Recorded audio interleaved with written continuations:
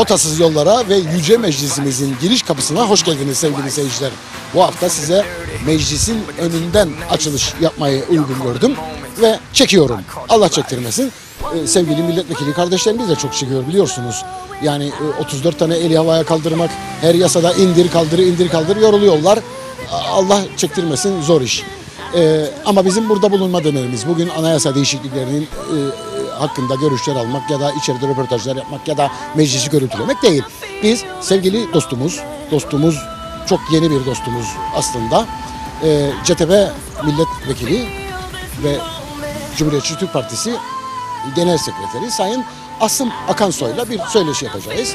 Bu nedenle şu anda meclisteyiz. İçeride kelle sayımı yapılıyor. E, rotasız yollar da böylece başlıyor.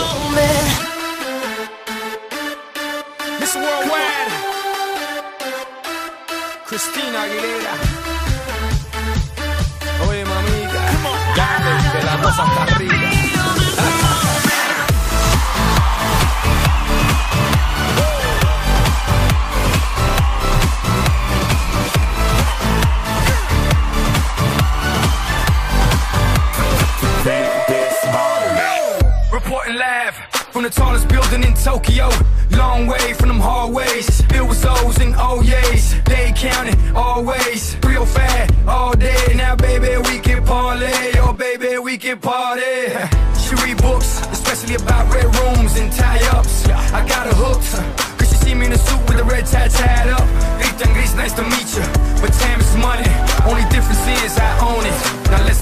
and enjoy this moment. One day while the light is glowing, I'll be in my castle golden. But until the gates are open, I just wanna feel this moment. Whoa,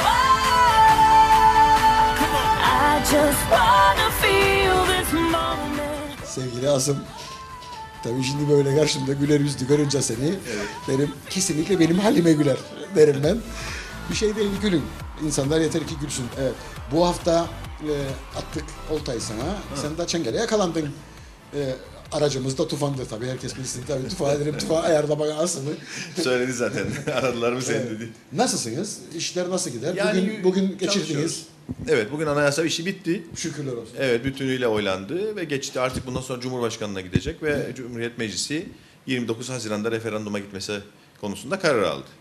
Şimdi bu çok önemli bir konu. Çünkü Kıbrıs Türk halkının kendi iradesiyle adım adım kendi toplumunu düzenlemesi, düzenleme çabası, değişim çabası oldukça önemli.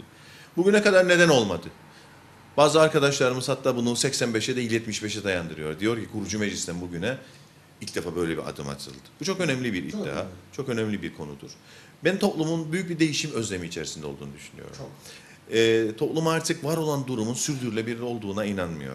Daha iyi bir ekonomi istiyor, daha iyi bir sosyal yapı istiyor, daha düzgün bir hayat istiyor. Ee, siyasi fazla hayatının daha daha fazla fazla demokrasi para, istiyor. daha Avrupa fazla düzeyinde bir refah. demokrasi istiyor. Çünkü bunu hak ediyor.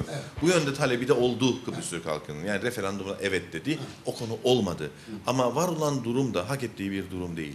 Bir yandan çözüm süreci devam edecektir elbette. Ama bir diğer yandan da Kıbrıs Türk insanı evinin önünü temizleyecek. Evinin içini temizleyecek. Yaşanabilir bir O, o bilinci ve kültürü önce Evet, yaşanabilir bir e, ortam yaratacaktır kendisine. Ben Kıbrıs Türk halkının böyle bir kapasiteye sahip olduğuna inanıyorum. sessiz olması. Problem biraz özgüven problemi. Özgüven. Özgüven problemi. E, acabalar, korkular, endişeler. Bunu da e, anlayışla karşılıyorum çünkü kolay değil. 74'te bir savaş, büyük bir travma. 64-74 arası belirsizlikler, gettolar ves- vesaire. 1964'te Kıbrıs Cumhuriyeti'nden ayrılma, onun yarattığı travmalar. Tüm bunlar aslına bakarsanız günün sonunda elbette belli endişeler ve korkuların hakim olduğu bir toplum ortaya çıkardı. Ama gençler öyle değil. Özellikle e, 20'li yaşlar, 30'lu yaşlar gençlere baktığımızda hem e, yüksek eğitimleri dolayısıyla, iyi eğitimleri dolayısıyla çok daha talepkarlar, çok daha değişimi özlüyorlar. Hem de artık bu düzenin değişmesini istiyorlar. Birazcık da toplumun aslına bakarsanız değişim özle- özleminin öncülüğünü ülkede gençler yapıyor. Ben bu kanaatteyim. Dolayısıyla gençlerin e, ülkemizde aileleri üzerinde, sosyal medyanın üzerinde, üzerinden bize yarattığı baskılar siyasetin de mecburen bu değişimde etkili olmasını sağlıyor. Yoksa durup dururken meclis öyle bir yapı ki hiçbir şekilde hareket edebilecek bir yapı değil. Koalisyon hükümeti var, koalisyon hükümeti bozulsa başka bir koalisyon hükümeti oluşturulacaktı. Bir sürü kendi içerisinde denklemler, dengeler, problemler olan bir yapımız vardır. Burada ben toplumun, sivil toplum örgütlerinin, gençlerimizin, kadınlarımızın çok önemli siyasi öncüler olduğunu düşünüyorum artık. Sosyal öncülerdir. Yani bazı konular var ki artık toplumumuzda, örneğin bir kadın konusu, bir çevre konusu, bir gençlik konusu, bu gibi konularda artık toplum uyanmıştır. Toplumun gençleri uyanmıştır. Siz kolay kolay kadınlara dair, gençlere dair olumsuz bir adım atamazsınız. Atmamalısınız da. Tabii onların büyük bir direnciyle, büyük bir e, muhalefetiyle karşılaşırsınız. Bu dünyada da artık böyle. Yani küreselleşen dünya içerisinde bu aktivist gelenek, e, gençlerin e, belli siyasi partiler üzerinden değil ama belli değerler üzerinden. Biz burslarımızı istiyoruz. Biz çevrenin korunmasını istiyoruz. Biz kadın haklarının önemsenmesini istiyoruz. Biz çocuk haklarına önem veriyoruz. Bunlar çok çok önemli konular ve baktığımızda toplumlar içerisinde toplumun en mağdur kesimlerinin haklarının öne çıkarılmasıyla ilgili meseleler. Dolayısıyla yeni yüzyılın siyasi e, atmosferi bu şekilde şekillenmektedir diye düşünüyorum. Bu değişimde de sanıyorum bu dönem milletvekili olarak e, meclise gönderdiğimiz gençlerin çok büyük bir payı var. Elbette yani baktığınızda aslına bakarsanız Yani e, seni daha kattım bunların içine. Daha 50'ye gelmedin çünkü. e, evet gencim çünkü. Saçında hiç beyaz yok, gözümüz yok ama Çok az. Meclise girdik gireli başladı beyazlar. Aslına bakarsanız e, doğrudur söylediğiniz. E, son meclise giren gençlere baktığımızda kendi içlerinde bir dil birliği olduğunu görürsünüz. Daha Aynı önceden giren yani. evet giren gençlerle de uzlaştığında tümünü bir kategorize tümünü bir kategoride tutmanın bir zorlama olduğunu düşünüyorum ama. Yani bütün gençler iyidir, bütün de- deneyimliler e, iyi değildir gibi bir yorum doğru bir yorum değildi. Yani E, cid- çok üretken, yaratıcı, Evet, yani- e, yenilikçi Evet. lazım. Çalışkan, Toplumu çalışkan çok çalışkan, önemli. Çalışkan, Topluma verdiğimiz sözler çok önemli. Bunun Mesela- arkasında durma özlemi, Çalışkan iddiası. lafına bir örnek vereyim hemen sana. Yani seni gördüm. Gidin gelin elinde çantayla falan yani abi hoş geldin dedin iki kelimecik edebildin bana. Başka bir örnek vereyim. Sabahtan e, Kanal T'de Tufan'ı izledim. Kapanışı yaptılar. Kamera geride. Kalktı seninki ayağa çantasını Koşarak. toplar. Daha gö- görüntünün içinde. Kesinlikle, Dedim, kesinlikle. Bayılırım be Tufan dedim sana. Yani bu kadar çalışkansın ki Öyle. e, daha yayın bitmeden masadan eşyalarını toplan. Gidecek çünkü Kesinlikle. işin olan düşkünlüğünü gösterir bu. Kesinlikle. Ben hepinizde görürüm o şeyi. Bu bir sorumluluk meselesi Sorumluluk aslında. meselesi Biz bu sorumlulukla şey siyasette yapalım. milletvekili e, olmayı tercih ettik. E, Halk den- halk bunun farkında. Deneyimli milletvekillerimiz var. Onların kapasitelerinden yararlanabilmek çok önemli. Evet. Yani onlar olmasa pek çok noktada aslında açmaza girer herhangi bir deneyimli genç. Dolayısıyla on deneyimsiz genç. Dolayısıyla bu konu da oldukça önemli diye düşünüyorum. Ben aslında e, bu dönemde meclisin daha sık toplanabildiğini, nisabın daha kolay sağlandığını, bazı yasaların daha çabuk değiştirildiğini toplumun farkında olduğunu biliyorum. Şimdi dikkat ederseniz bir dönem önce mecliste çok büyük travmalar yaşandı, çok büyük problemler yaşandı ve siyaset neredeyse toplum nezdinde ciddi anlamda itibar kaybetti. Siyasetçiye güven azaldı. Kamuoyu yoklamalarında siyasetçi ve siyaset kurumları en az güvenilen kesim haline geldi. Bunun sebepleri vardı. Meclisin üretken olmaması, toplanamaması, ciddi bir çatışma kültürü. Bunların ortadan kalkarak daha üretken, daha uzlaşma yönünde adım atan adımlar, e, çalışmalar, yapılan çalışmalar bence çok çok önemli. Bunu biz Anayasa Komitesi'nde gördük. Tüm siyasi partilerle uyumlu bir şekilde. Şimdi yılların Mehmet Çakıcısı, yılların Hasan Taçoyu, yılların Ergün Serdaroğlu'su, e, Ömer Kalyoncusu, ben, Tufan e, vesaire. Yani Ersan Saner var diğer taraftan Ulusal Birlik Partisi'nden. Dolayısıyla aslına bakarsanız bir yandan evet deneyimli insanlara da ihtiyaç var ama öbür yandan da sürükleyici bir genç potansiyele her zaman ihtiyaç var diye Kesinlikle katılıyorum. Bu anayasanın değişimi ile ilgili kurulan komitenin elebaşısı senmişsin. Doğru? Evet komite başkanıyım. Sen yaptın bu işleri. Yani arkadaşlarımla Elebaşı. beraber yaptık. Biz birazcık Tufan da elebaşı. sürükledik. Tufan da elebaşı. Tufan da elebaşı. anayasanın, anayasanın değiştirilmesine karşı olanlar şimdi elebaşı lafını beğenebilir. Evet. Değil. Ee, a- ama toplumda büyük bir şey var. Yani kabul var. Bu kabul bizi motive ediyor doğrusunu söylemek gerekirse. Ee, vallahi aza kanaat gelmeyen Hani çoktan e, çoka ulaşamaz derler. Ya da efendime söyleyeyim. Az da e, kanaat etmeyin çoğu bulamaz. çoğu bulamaz derler. Doğru söylüyorsunuz. Bu çok önemli. Ee, ya da hani e, mükemmel iyinin düşmanıdır derler. Şimdi mükemmele ulaşmak için adım adım bir süreç yaşamak lazım. Bu atılan adımlar bile bence çok önemlidir. Ee, az önce bahsettik bu özgüven sorununu ortadan kaldırarak Kıbrıs Türk insanının sağcısıyla solcusuyla e, liberaliyle, sosyalistiyle hiç fark etmiyor. Birikiminden yararlanarak, kapasitesinden yararlanarak atılacak çok ciddi adımlar vardır. Bunu yapabiliriz. Bu bilince, bu e, somut göstergeye e, biz de imza attığımız için Anayasa Komitesi'nde e, bundan dolayı gayet memnunuz. Bu anayasa değişikliğinden dolayı içinde ukde kalan bir hüzüncük var mıdır? Ya doğrusunu söylemek gerekirse elbette her bir siyasi çok daha fazla şeyler yapmak ister. Bu geçince 10. madde çok önemli değil. 10. maddedir, azınlık haklarıdır, vicdani reddir. Bu üç Azınlık haklarını sorayım. Ne, neydi yani? Azınlık hakkı kadar basit bir konu neden kabul edilmedi? Şimdi aslında bakarsanız azınlık hakları konusu yerinde. dünyanın pek çok ülkesinde var. Bazılarında anayasalarda var, Sen- senin bazılarında yasanda olmasa yasalarda da. var. Bazılarında mahkeme kararları var. Pek çok ülke azınlık haklarıyla ilgili belli bir uygulamaya kavuşmuş. Ancak bu konuyla ilgili özellikle imparatorluktan dönüşen ülkeler, Türkiye gibi, Fransa gibi, Almanya gibi, İspanya gibi ülkelerde azınlık haklarıyla ilgili belli endişeleri var. Neden? Orada Aman bölünebilirik korkusu. Aman acaba bu azınlıklara haklarını tanırsak gün ola bunlar gelir de bizim ülkemizi bölerler mi gibi aslına bakarsanız antidemokratik ama kendi içerisinde de böyle bir siyasi gelenek oluşturmuş ülkeler var. Bunun dışında kalanlar kabul ediyorlar azınlık haklarını. Çünkü azınlık hakları ne demek? Mağdur olanın hakkı demek mağdur olanın hakkı demek. Yani mağdur olanın bir kültürün, bir dilin, bir e, etnik yapının ya da bir din e, taraftarının hakkını savunmak kadar güzel bir şey yoktur. Zaten burada yasada düzenlenmiştir bu. Biz e, kendi anayasamızı hazırlarken ne Amerika'ya örnek alabiliriz, ne Türkiye'ye örnek alabiliriz, ne Almanya'ya örnek alabiliriz, ne de Güney Afrika'yı. Çok önemli bir as- anayasa süreci yaşadı Güney Afrika. Dünyaya örnektir. E, Ama evet elbette Türkiye'den yararlanacağız teknik anlamda. Fakat biz kendi geleneğimiz, kendi kapasitemiz, kendi sosyal yapımız, kendi coğrafyamız çerçevesinde bir anayasa hazırlayacağız. Dolayısıyla anayasa bize benzeyecek. Evet. Anayasa bize Bize benzeyecek. anayasaya değil. Evet, anayasa bize benzeyecek. Biz e, anayasaya baktığımızda ha kendimizi orada hissedeceğiz. Orada Almanya'yı görmeyeceğiz, Türkiye'yi görmeyeceğiz. E, ama toplumlar kendi korkularını, endişelerini zamanla aşarlar.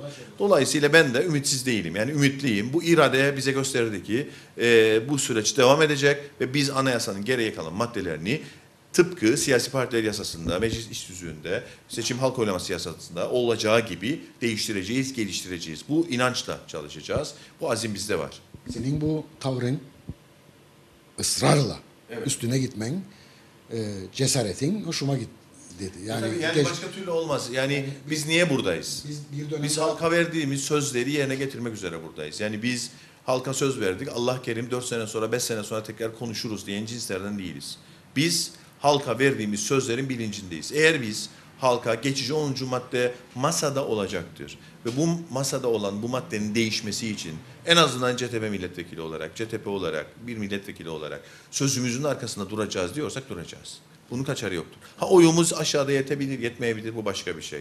Bu konuda çaba sarf edeceğiz, toplumu ikna edeceğiz, diğer milletvekillerini ikna edeceğiz, gerekli girişimlerde bulunacağız ve yol alacağız. Yani bu konuda bir endişem benim yok.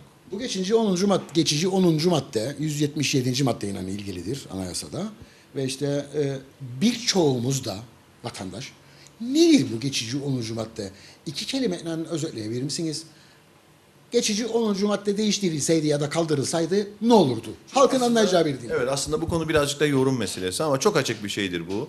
Bu e, Kuzey Kıbrıs'ın içinde bulunduğu olağanüstü şartlardan dolayı ülkenin e, iç güvenliği ve dış güvenliğinin e, bir başka ülkeye devriyle ilgilidir. Yani Türkiye'nin, Yani ülkedeki Türkiye'nin- Türkiye Silahlı Kuvvetleri'nin Evet. ülkemizin iç ve dış güvenliğinden sorumlu olmasını hangi şartlar bağlamında? Bu olağanüstü şartlar bağlamında yetkilendiren e, maddedir aslına Yani bakarsanız. Bu da polisin iç işleri, örneğin polisin sivil otoriteye bağlanmamasının bir faktörü olarak da e, bu madde nin varlığı gösteriliyor kurumlar Yani- tarafından. Yani itfaiye, polis bunlar Evet, hep, evet. savunma falan bunlar hep askere bağlıdır. Bu Evet. yasa yüzünden bağlıdır. Evet ama biz bunun de, hukuken değiştirilebileceğini düşünüyoruz. Dolayısıyla ayrıca bir polis değişiklik yasası e, hazırladık. Bu maddenin değişikliğiyle birlikte aslında polisin sivil otoriteye bağlanması sağlanabilir.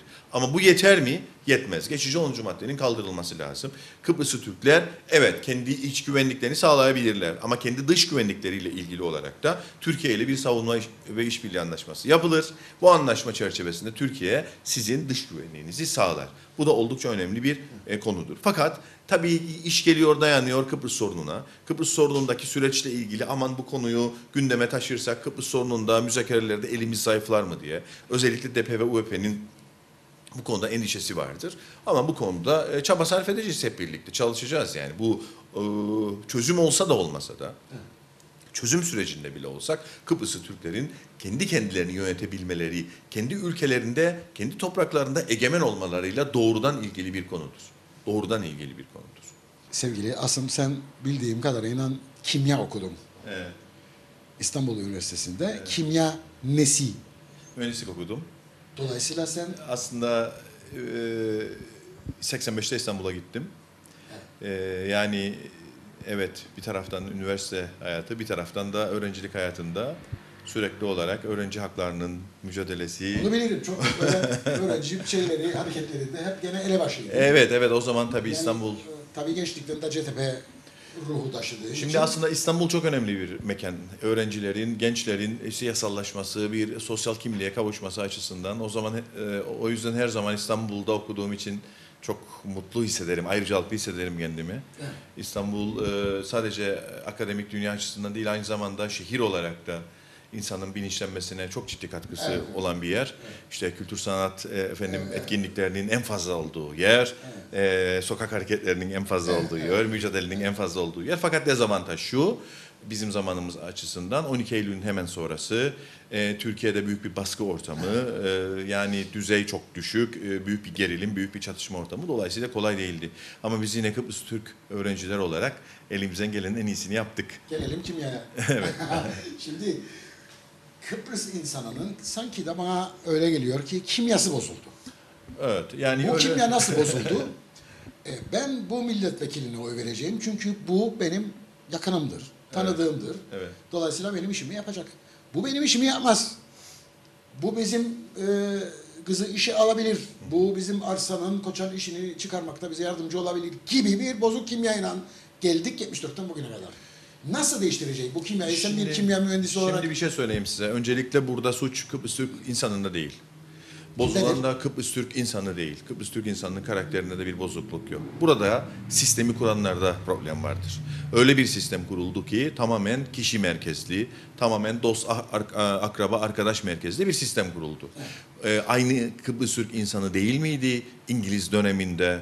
Efendime söyleyeyim kurallarına göre hareket eden, kurallarına göre yaşayan ve yöneten aynı Kıbrıs Türk insanı değil midir? İngiltere'de bugün kurallarına göre yaşayan ya da Türkiye'de ya da Avustralya'da ya da güneye geçtiğinde İki trafikte.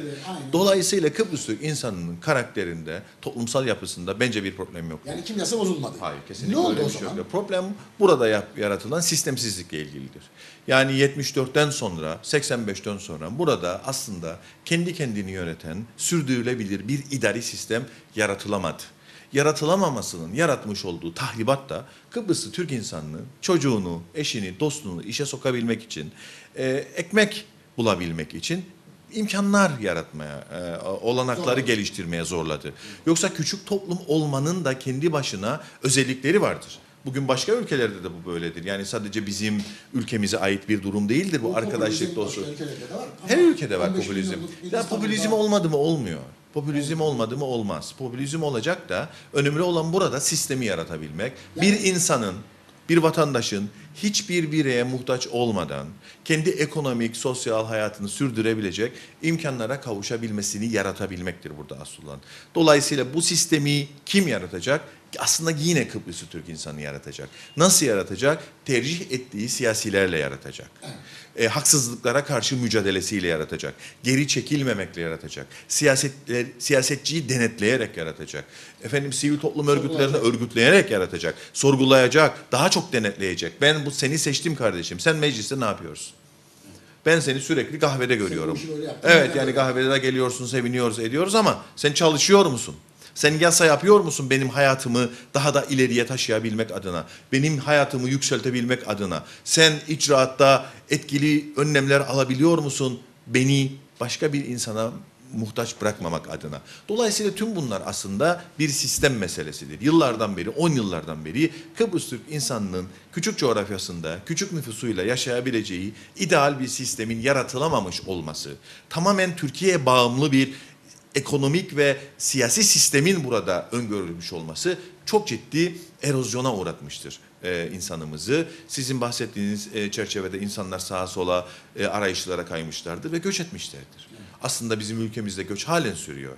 Ve buna rağmen bu kadar sosyal tahribata, savaşa, e, acımasızlığa, baskılara rağmen bugün yine bir Kıbrıs Türk toplumundan bahsediyorsak bundan övünç duymak lazım, mutlu olmak lazım. Bu bizim yurtseverlik e, algımızla ilgili bir şeydir, bilincimizle ilgili bir şeydir diye Dediğiniz gibi düşünüyorum. yani eğer bu sistemi değiştireceksek sistemi değiştirebilecek kişileri parlamentoya getirmemiz gerekiyor. Kişileri ve projeleri. Ve projeleri. Projeleri. Yani sen projesi adaysın, olan insanlar. belediye başkanlığına adaysın. Günümüzde şimdi seçimler vardır. E, kardeşim hoş güzel de nasıl bir şehir, benim hayatımı iyileştirebilecek nasıl bir çevre, nasıl bir sosyal hizmet bunları sorgulaması lazım vatandaşın. Bunu sorgularken de aman asım benim arkadaşımdır, dostumdur diye gidip asıma oy vermemesi lazım. En iyi projeyi, en ola- e, sahip olan kişi kim ise ona gitmesi lazım ve bunu uzunca sorgulaması bir lazım. zaman alacak gibime gelir bu popülist yaklaşımların ortadan kalkması. Ki Kolay değil. tamamen de kalkmayacak. Kolay değil. Tamamen kalkmayacak tabii. Yani çünkü popülizm halka dönük hizmet demekse, halka dönük söylemlerin geliştirilmesi demekse aslında popülizmi de biz tam olarak kavramsallaştıramadık. Yani biz daha fazla e, halk deyimiyle halk dal kavukçuluğuna vardırdık popülizm. O değil.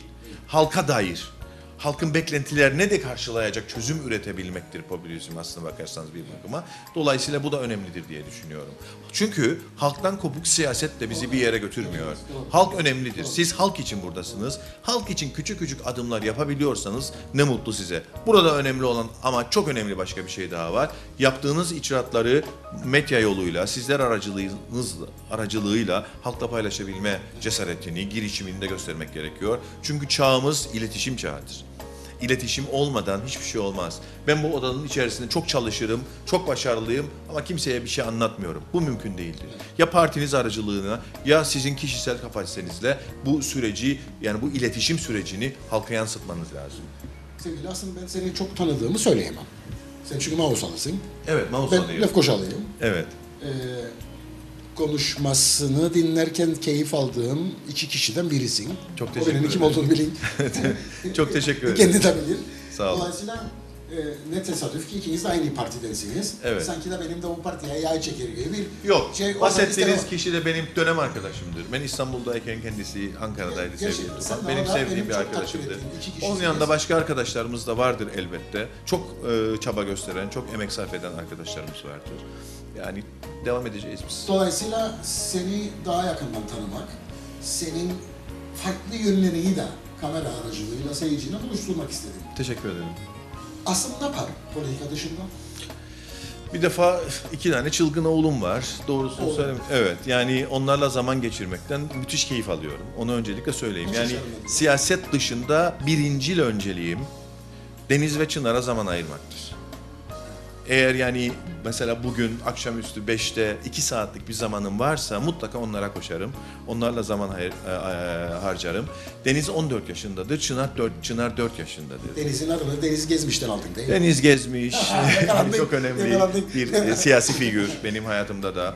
Ama aynı zamanda denizi gerçekten çok seviyorum. Dalgıçlık yapıyorum. Küçüklüğümüz hep denizle, Ha, gerçek Deniz'i çok e, gerçek denizi de çok seviyorum. Yani ikisi beraber oldu. Demek sen de şeysin, denizci. Denizciyim yani denizli bir hayatı seviyorum. Denizle Neyse, beraber. yaz geliyor. Evet evet deniz olmadan olmaz yani. Dıştan ama yani çıktın gittin meclisten evde. e, Kitap okurum. Kitap okurum. Kitap okurum, film izlerim. Ee, yani daha fazla bu şekilde zamanımı geçiririm. Evet. Peki ben Bu programa konuk olduğu için sana çok teşekkür ederim. Ben de çok Söylemek teşekkür ederim. Son birkaç cümle. Yani size çok teşekkür ediyorum. Bu tür programların tabii e, bir yandan siyasetçiyi topluma tanıştırmak, bir yandan siyaseti toplumla barıştırmak Karıştırma. Adına çok çok önemli olduğunu düşünüyorum. Bizim esas görevimiz burada çok daha fazla üreterek, çok daha fazla çalışarak, tüm toplumu kucaklayarak ve ideallerimizden vazgeçmeden ilkeli bir duruşla topluma hizmet etmektir. Siyasetçilik bu demektir benim anlayışım çerçevesinde. Sizlere çok teşekkür ediyorum. Ben teşekkür Burada ederim. olduğunuz için. Çizginin daim olmasını Çok dileyerek. Her zaman Sizin- sadece destek değil aynı zamanda her türlü denetiminize, sorgulamanıza ve eleştirinize açık olduğumuzu da söylemek isterim. Çünkü mutlak doğru yoktur. Ee, sadece doğru yapan bir siyasetçi bir kişi asla olamaz. Bizim hatalarımız olacaktır, olmalıdır ve sizin eleştirileriniz ve görüşlerinizle bunları şekillendireceğiz. Bizim kızcığı işe koydur ya. Hazır- Sistemi hazır- düzeltelim, hazır- o da girecektir. Hazır bir şey sağ gelmiştir. Peki çok sağ ol. Çok teşekkürler. Sağ ol, Eksik teşekkürler. olma. Sağ sağ. Eksik olmayın.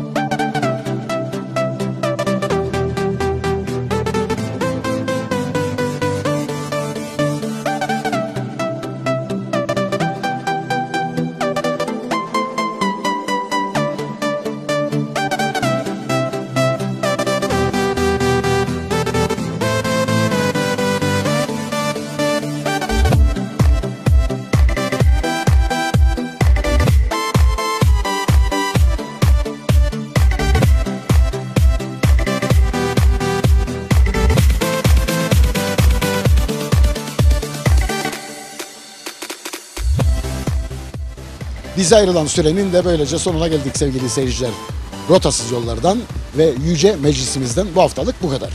Sevgili Asım Akansoy'a programımıza katıldığı için teşekkür ediyoruz. Ve haftaya aynı gün aynı saatte yeniden birlikte olmak dileğiyle hoşçakalın diyoruz.